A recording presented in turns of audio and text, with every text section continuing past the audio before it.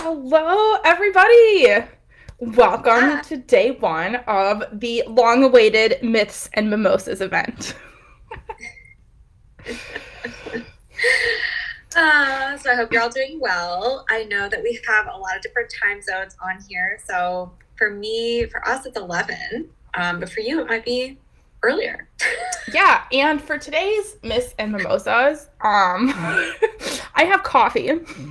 As you saw from last video, I was at um, I was at solo ensemble with my students all day yesterday, and I'm going to teach a bunch more lessons today. So we are energizing today, but feel free to have your drink of choice. Um, you're probably, if you're in a different time zone, it might be, um, you know, wine mimosa time there.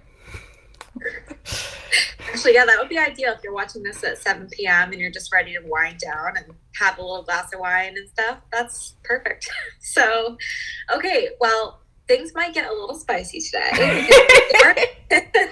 we are talking about myths that we hear all the time when people are just trying to get better practicing, get better at their instrument, you know, work really hard. And it's worth talking about all these things because some of them sometimes end up wasting a lot of your time and we don't want that. We are all about making things efficient and fun and non-judgmental over here. So anna? Oh gosh. Here we go.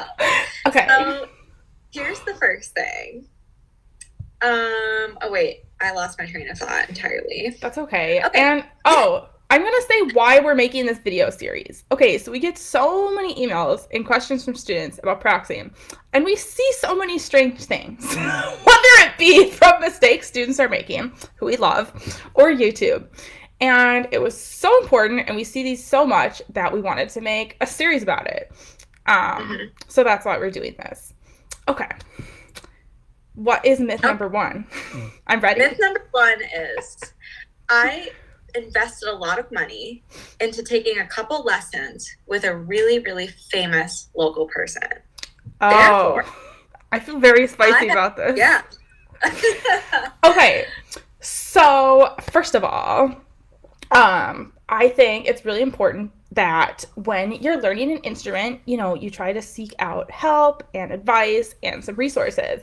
Um, but something that me and Amanda see is that um, we have people that are like, oh, well, I've taken a couple lessons from so and so, principal flute or whatever of the whatever. So I'm good. That's it. I got my lessons. They're really famous. They know what they're doing. Um, no. uh, okay. So while taking lessons is awesome, um, it's really important that you are getting the tools that you need and the resources to be able to practice on your own and be able to succeed. Um, and just because someone is famous or because, you know, they have a bunch of YouTube videos doesn't mean that they're necessarily the best teacher. Um, I'm sure you have some more thoughts on that too, Amanda. Yeah, absolutely. Um, so you're looking at somebody who has taken lessons with more people than I can count. Yeah. and what I've learned from all that is spending one hour with someone is not long enough for them to get to know you and actually give you advice that is pertinent to you. I mean, it depends on their approach. Like our approach, we tend to be really descriptive. Like, for example, if you come to me and you're like, my wrist hurts, what's the issue? Or my high notes are cracking, what's the issue? You know, somebody who is maybe a less experienced teacher could just say, like, your notes are cracking because you need a new flute or something. Um, but you know, obviously our program is three months long and now we're extending it to a year. So we have a lot of time to sort of work with you to figure out why your own high notes are cracking. But then at the same time we give you a lot of different ideas for why that could be because depending on your needs it is going to be different.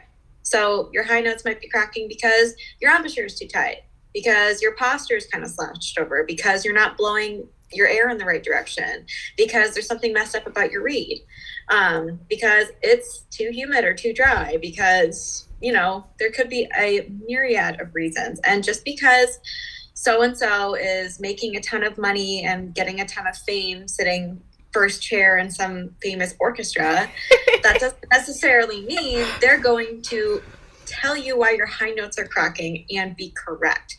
There have been, oh my God, Anna, did I tell you that I took, well, while I was at Oberlin, I took a lesson with a famous person and she told me, I'm not going to say who it was, but she told me that Right. I had a problem with this finger and it just never went down because this on the flute, like this finger's all bent and bent and stuff.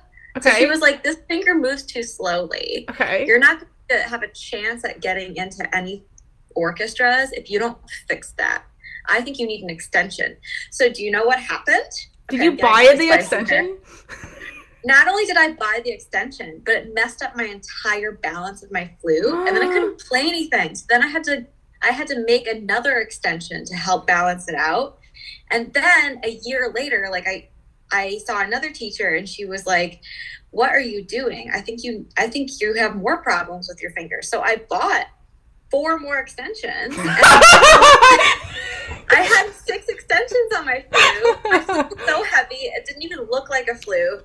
And I was having a lot of hand problems. I was like, the more extensions I add, the more problems I'm having. I yeah, it's getting was gonna fix heavier, it. right? Like, Yeah, but literally, I'm not even kidding you. Like, uh, two years of my flute playing life, like during like a vital time in college, like sort of got wasted for me because I was just like not really able to play much, and I kept messing with my hand position because some famous person told me that I needed to make a change. So, anyway, there's your myth busted for today.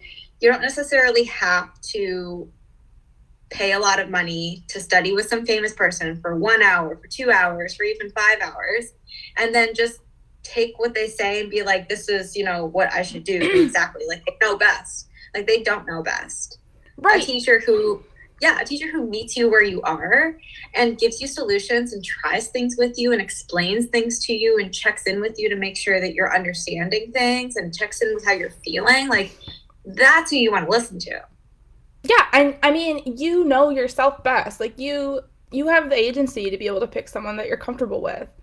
Um and the other thing too about that is like I mean, lessons are amazing to get that um you know, one-on-one support, but the reason why we kind of developed our program is because there's obviously questions that come up after the lesson, like, you know, um, and a lot of questions are other questions that the same people are having about like breathing or tone or practicing like how do you practice? And some of those things can't like they just don't fit into the lesson time so that's literally why we started making videos and doing these live sessions. And we're like oh it seems like this is something that people really need. Um, so that's kind of why we created virtual woodwinds academy. Um, and it's awesome. Like we have such a cool community and a lot of people actually had the same problem and were able to talk about it with each other which was cool. Because then you don't feel so alone.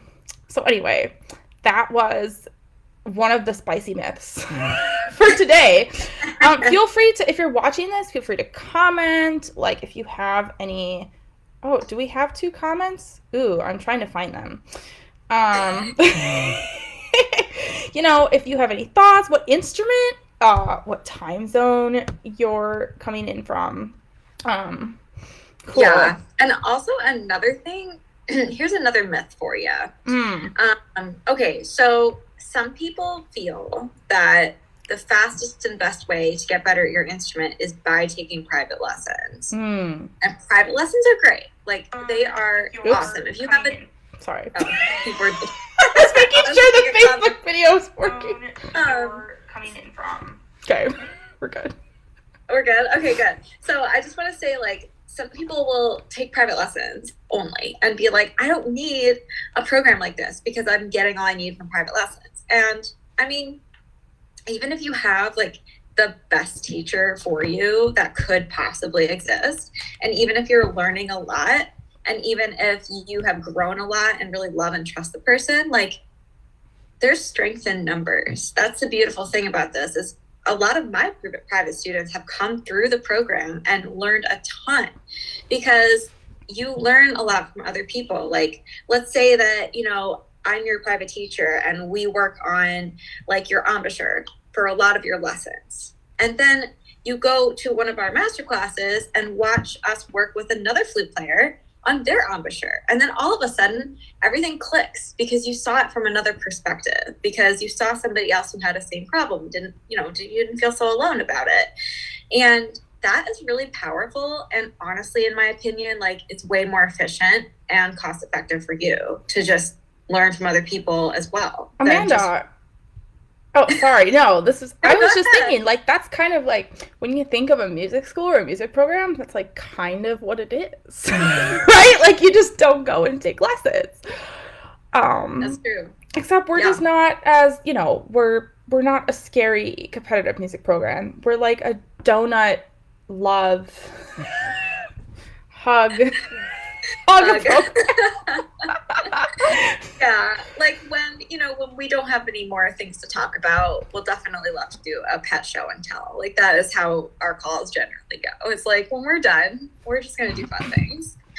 So yeah but that is how a music school goes. Like when we we went to music conservatory like the least amount of time we spent on anything was private lessons. Like we had one private lesson a week, but then we also had one studio class a week where we got to watch other people be taught. We had orchestral excerpts class. We had music theory. We had aural skills. Four years we had of that. history. We four years years of that. Yes. I mean, I think I've taken probably because I'm doing my DM now. I've been taking like seven years. No, wait, I can't do math. I don't know. It's over. it's over seven years of like music theory and stuff, and that's literally why it's in programs. Like, you know, um, so that's why we teach that stuff, and it's stuff that can't be covered in lessons. I mean, we could spend a whole lesson going over music theory, but then, you know, or we could just make a video, um, telling you about it. Mm-hmm. Okay. Yeah, I mean, and think about it from a cost-effective standpoint, like I mean, okay, let's say that you had a lot of questions about like switching key signatures or something. We've got several videos of that in our music theory unit. So you could spend two private lessons, you know, paying for private lessons, going over those things. But instead, at Woodwind Academy, you can literally watch all the videos. You could chat about it with us outside of the call. Like, if you have a question, just send us an email or post in our private Facebook group, like, hey, I'm confused we help you. Um, it's faster.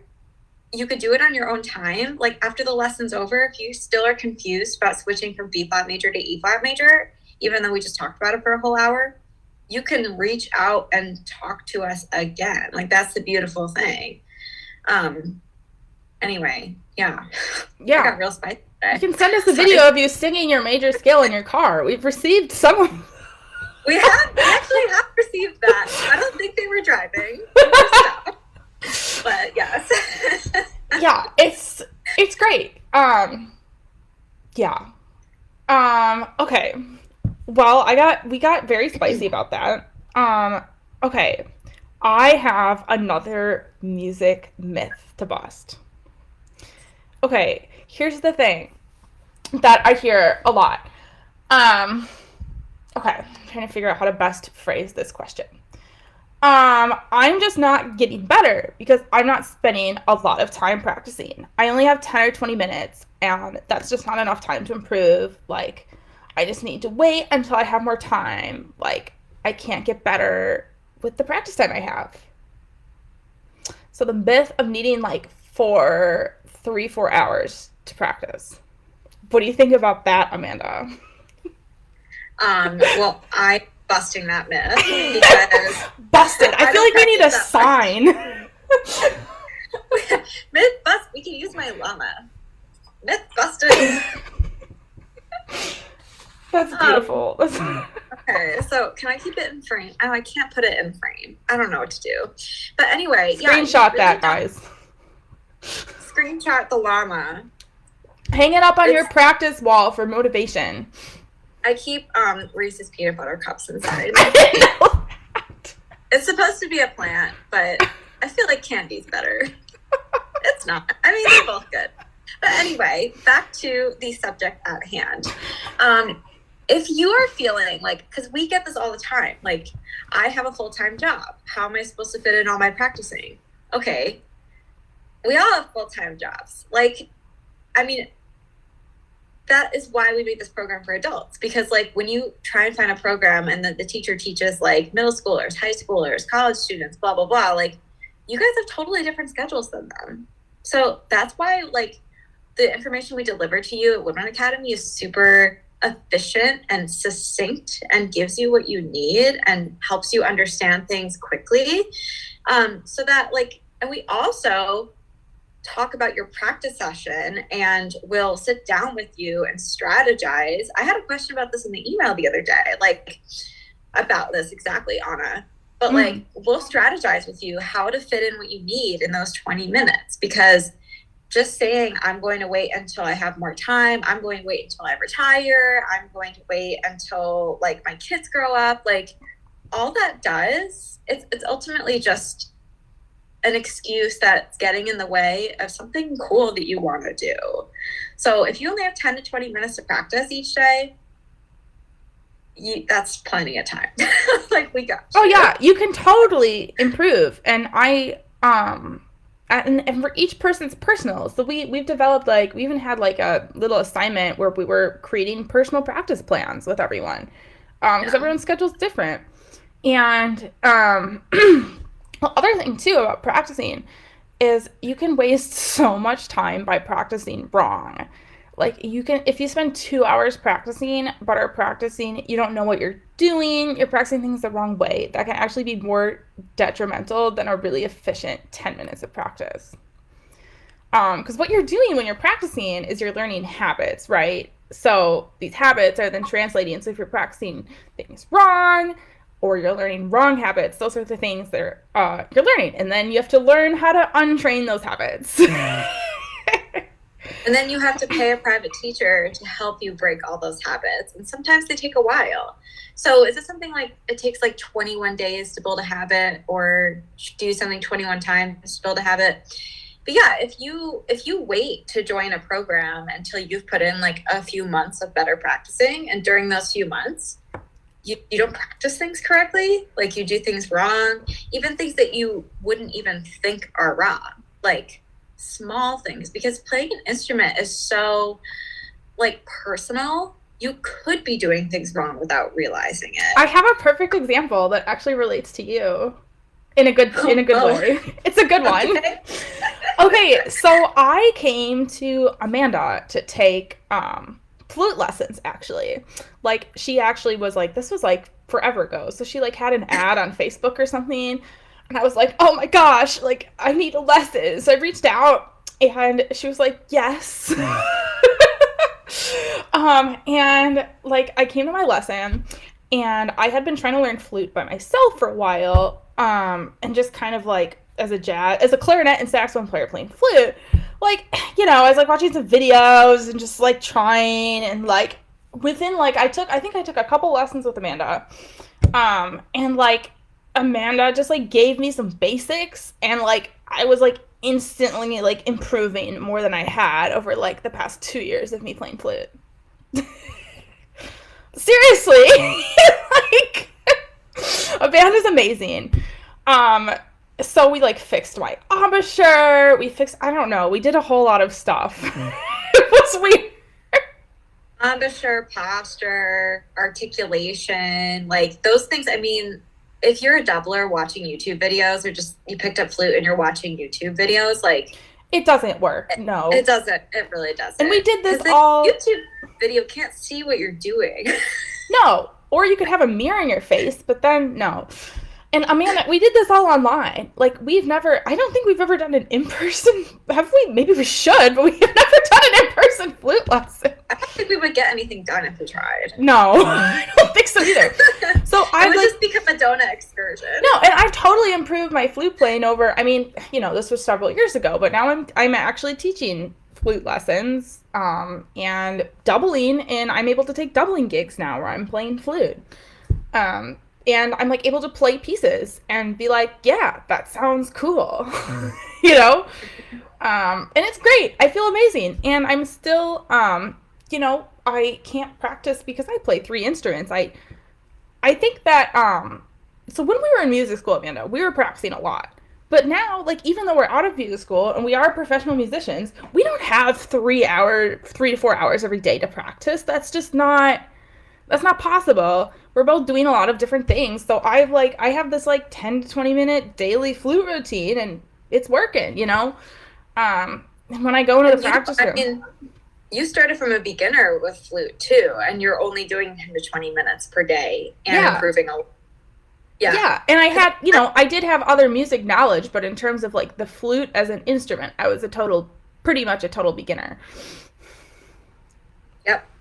Um, yeah. So even in college, so I'm also because we did practice a lot in college, um, but I have to say that a lot of the time I spent practicing, I didn't necessarily need to do that. Like I think half the time I was like practicing like really hard chamber music pieces that like my friends wanted to play or that were like required for my degree. But like as far as like the beautiful thing about our program is that we ask you, what do you want? What do you want to be good at? What do you want to get better at? Like, what pieces do you want to play? And that's how we craft your practicing. Like, if you just want to like move up a chair in your band and like start playing all those runs and your like Sousa marches and not have any problems with them, we're going to cater that pract- practicing to you. And no, it's not going to take three to four hours. Like, we'll get it done in 20 minutes. But just depending on what your goals are, your practicing looks different. Exactly, because and being a jazz um, doubler for me, I am doing more specific jazz doubling related things in my practice that you probably aren't doing as much of. 'Cause you don't have to play in a big band. Um, but yeah, um, so those are just some things. Um, yeah, and I, you know, we were just so tired of seeing like you know these students and people like wasting time. We don't want you wasting time practicing. Um you know we want you to be able to do stuff and live life and feel good about your instrument. Um Yep. okay. Well we could definitely talk all day about these spicy myths. Um actually but Okay. we We're gonna wanted huh Oh, we're gonna be back tomorrow with more. and um should we announce this tomorrow our other giveaway? Or we could we should announce it now maybe. Okay. so if you've made do it. to the end of this video congrats. Because you are finding out about another giveaway we're doing. So um in our facebook group we're doing a two $10 Starbucks card giveaway to the people who invite the two people who invite the most people into our Facebook group, Woodwind Support Community. We'll be announcing that this Tuesday, the 1st, 20. 28th. Okay, February is weird. it's all in the Facebook group. And then we are also going to be doing another uh, $10 Starbucks card for the person who comments, likes the most, the person who interacts the most with our videos. You, my special friend, will be also getting a Starbucks card. Um, Mhm. yeah, so we're gonna be back tomorrow with some different myths. Um, I think tomorrow we're gonna be talking a lot about. Um, we're definitely gonna talk about how people, how music theory can really actually be amazing for your playing. Um, but if you have any myths that you want to bust, or just anything that you're not sure about that you've heard, see it on YouTube, send us an email, um, put it in the comments, and we'd love to talk about it. But we'll be back live here tomorrow at 10 a.m. EST. See you then. Bye.